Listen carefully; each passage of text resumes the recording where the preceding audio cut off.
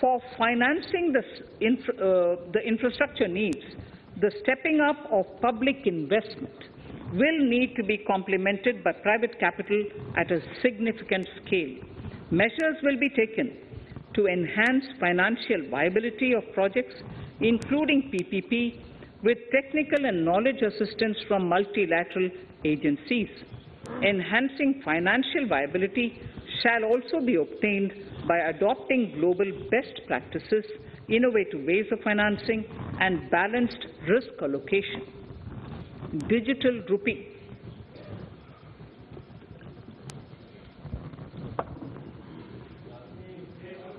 Introduction of a central bank digital currency will give a boost, a big boost to digital economy. Digital currency will also lead to a more efficient and cheaper currency management system.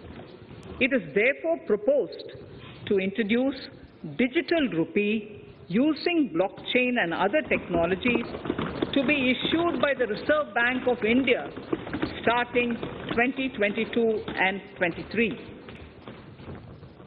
Financial assistance to states for capital investment.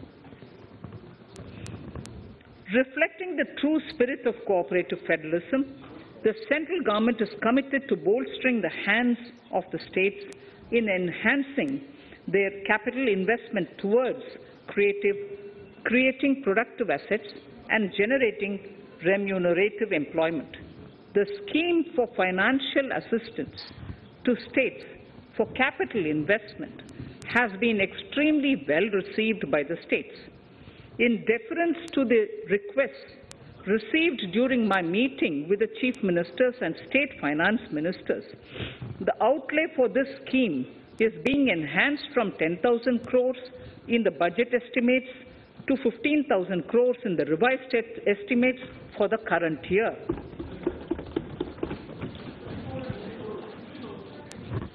For 22-23,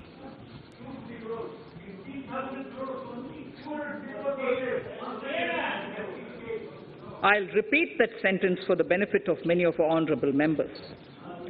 In deference to the requests received, from, received during my meeting with chief ministers and state finance ministers, the outlay for this scheme is being enhanced from 10,000 crores in the BE to 15,000 crores, 15,000 crores in the RE of the current year. For 22-23, the allocation is 1 lakh crore to assist the state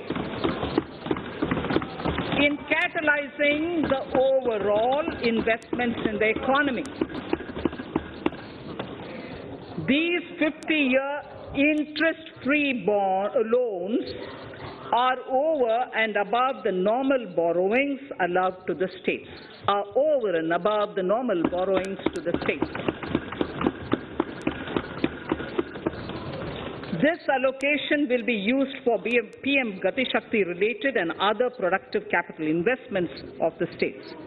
It will also include components for supplemental funding for priority segments of PM Gram Sadak Yojana, including support for the state's share, digitization of the economy, including digital payments and completion of OFC network, and reforms related to building bylaws, town planning schemes, transit-oriented development, and transferable development rights.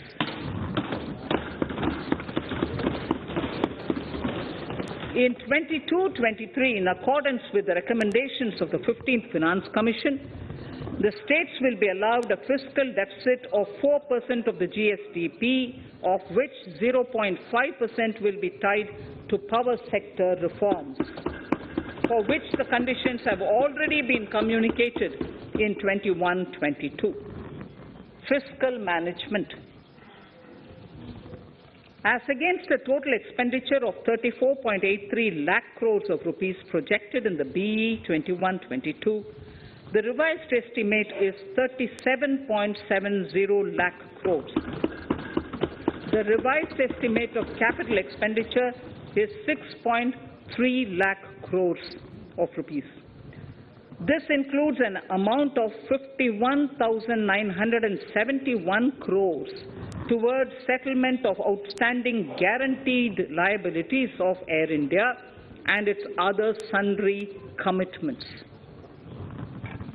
Coming to the budget estimates, Honorable Speaker, sir, the total expenditure in 22-23 is estimated at 39.45 lakh crores, while the total receipts other than borrowings are estimated at 22.84 lakh crores of rupees.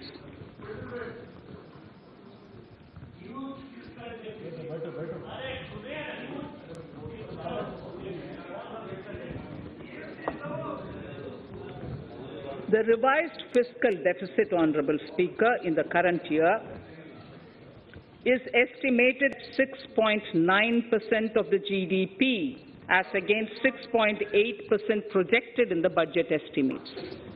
The fiscal deficit is in 22-23 is estimated at 6.4% of the GDP, which is consistent with the broad path of the fiscal consolidation announced by me last year to reach a fiscal deficit level below 4.5% by 25-26.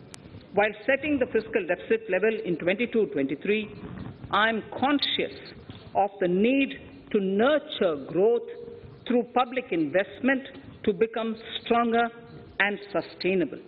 I will now move to part B of my speech.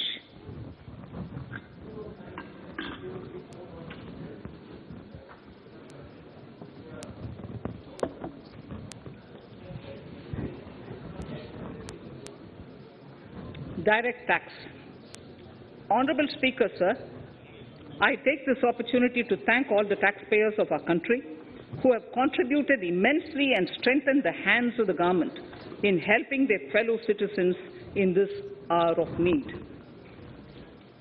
So I have uh, brought in a little verse from the Mahabharata. I won't spend more time reading because I would like the speech to get the enough time. However, the substance of it is the king must make arrangements for yoga kshema, which is the welfare of the populace, by way of abandoning any laxity and by governing the state in line with dharma, along with collecting taxes which, in, which are in consonance with dharma.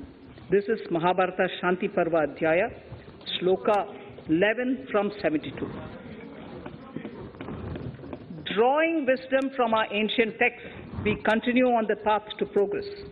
The proposals in this budget, while continuing with our declared policy of stable and predictable tax regime, intend to bring more reforms that will take ahead our vision to establish a trustworthy tax regime. This will further simplify the tax system, promote voluntary compliance by taxpayers, and reduce litigation. Introducing new updated return India is growing at an accelerated pace and people are undertaking multiple financial transactions. The Income Tax Department has established a robust framework of reporting of taxpayers' transactions. In this context, some taxpayers may realize that they have committed omissions or mistakes in correctly estimating their income for tax payment.